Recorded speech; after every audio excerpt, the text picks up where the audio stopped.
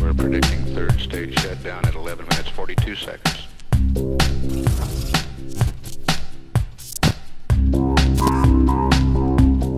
Houston, uh, this is Tranquility. We're standing by for a go for cabin depressurization. Tranquility Base, this is Houston. You are go for cabin depressurization.